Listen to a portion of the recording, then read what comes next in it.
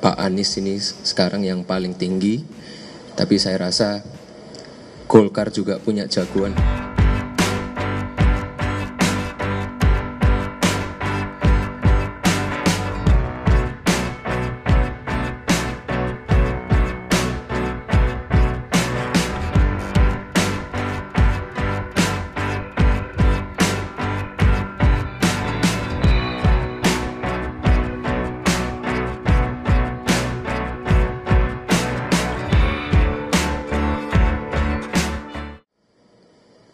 Masih banyak waktu, sebenarnya masih 49 hari lagi. Dan kalau kita lihat di survei emang ini sekarang yang paling tinggi. Tapi saya rasa Golkar juga punya jagoan. Pak Ketum, ada Pak Ridwan Kamil. Mungkin kalau Pak Ridwan Kamil sudah bosan di Jawa Barat, mungkin bisa mencari tantangan baru Pak di DKI Jakarta.